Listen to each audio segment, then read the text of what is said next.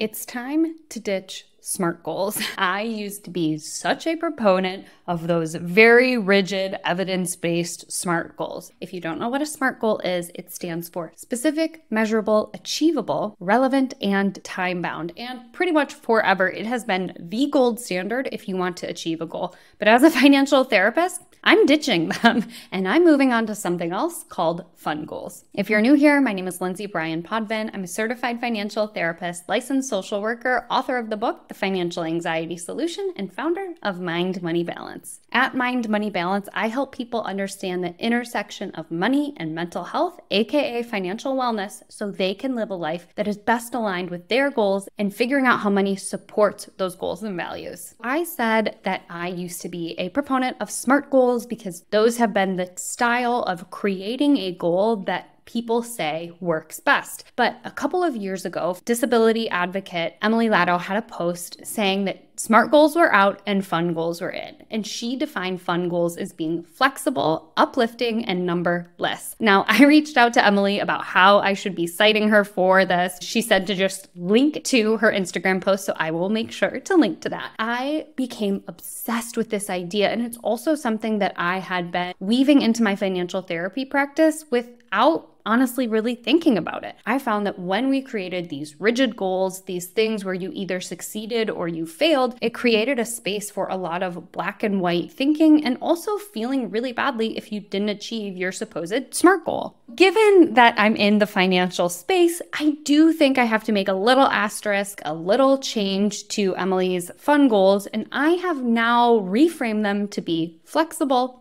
uplifting and numbers based. The way that I've kind of crafted this fun goals template is to first think of what is the cost of your goal? How long will it take you to achieve your goal? What are things you can temporarily spend less on? What are the ways in which you can temporarily earn more? Why does it matter to you? And what is the time frame flexibility that you can build in? So, the numbers based pieces of this fun goal template are the cost of the goal that you want to achieve and how many months it will take to achieve that goal. When it comes to the flexibility pieces, these are the downshifts. What are things I can temporarily spend less money on so that I can achieve my goal? Another flexible piece is what are the upshifts? The reason I say these are temporary downshifts and temporary upshifts is that in a lot of this smart goal planning and smart goal setting, we are thinking that if I make this change now, it has to be a forever change. That can be really overwhelming for us. So instead of saying, I will never order takeout again, I like to think about this as temporarily. Maybe this month I won't order takeout, or maybe temporarily we'll only order takeout once a week instead of three times a week. This again gives us the ability to say, this is what works for me, this is what works for us, and this is what we're doing for now. The same thing with the temporary upshifts. Maybe you don't want to have a side hustle forever and ever. I don't blame you. I think it's pretty exhausting. But if you can think of it as a temporary challenge, like, ooh, I'm just going to walk my neighbor's dog and get paid for three months, that can feel more fun. It's more time limited, and you might be more likely to play around with it in that way. The uplifting piece to me is the values based piece. Why does it matter? How will it bring you joy? How will it help you to feel safe, secure, adventurous, or whatever your values are?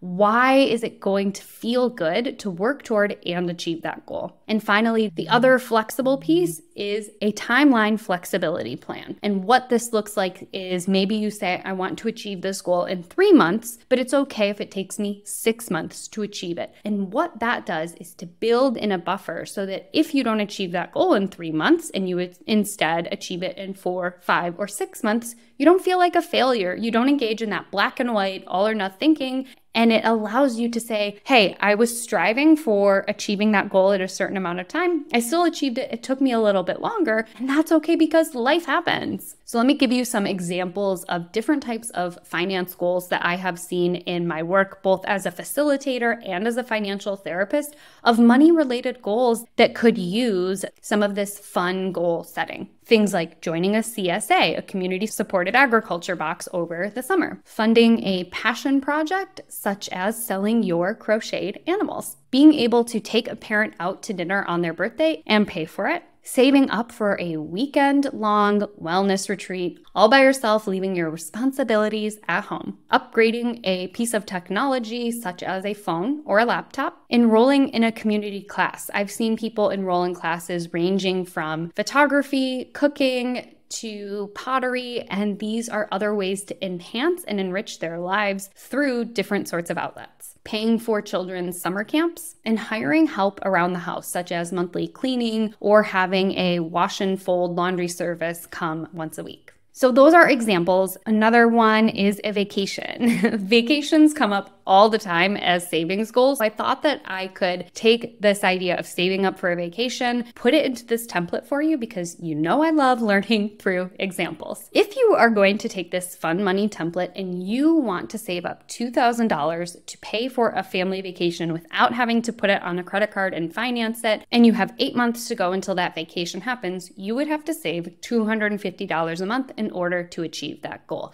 Now, in the SMART goal setting world, you'd be doing everything in your power power to make sure you adhere to that goal and adhere to that timeline. In the fun goal world, we are going to play with flexibility to make sure that you can achieve it while feeling good along the way. So let's start toward the end with what is the uplifting part of this goal? Why do you want to save up for a family vacation? Somebody might say, I need a family vacation because when we have weekends off, I'm not fully present. I'm still kind of thinking about work. Every now and then, I'm responding to texts or responding to emails or scheduling emails for the next day. Very rarely, but often enough, I get calls from work and it just interrupts my ability to be fully present with my family. And I know that when I'm on vacation, I do a much better job of turning off those notifications and being fully present. Another reason that this is an uplifting or valuable goal for me is that it matters for me to share with my children and to share with my partner the value of exploring new places, even across the US. We have regional differences, including food and music, architecture, and landscapes that I want to be able to share with my family and with my kids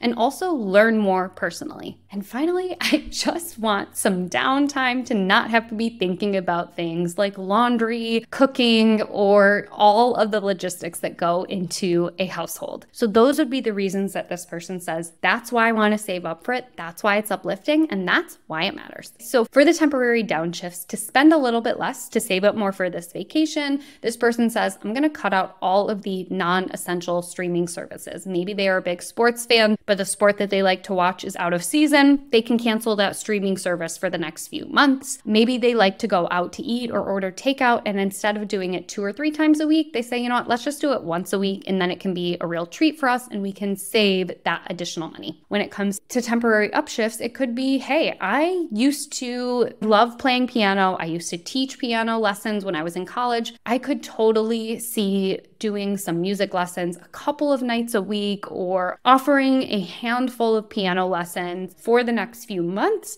because it feels good to me, it feels fun to me, and I can also increase my income temporarily. Another upshift would be to make sure that whenever possible, putting their purchases on a cashback credit card or on a points based credit card to help offset the cost of travel. It's not really earning money, but it's a great way to kind of offset the cost of travel and expenses with the caveat of you were going to pay off that credit card in full every single time and you were already going to make those purchases anyway. Now, the flexibility plan is I would love to take this vacation in eight months, but if it takes 10 months to save up, that's okay because we'll still be in the window of time where I know I'll be able to take off work and it will still be within this calendar year. And that feels really important to me and to my family to take the vacation this year. So when we put it all together, this fun goal sounds like I want to save up $250 per month for the next eight months so that I can take my family on a week long vacation. The ways that I will spend a little bit less is cutting out unnecessary streaming services and pulling back on takeout. The way that I will earn a little bit more is by teaching piano lessons and putting things on a cashback or points based card. If it takes 10 months, that's totally fine. I'd love it if it happens in eight months,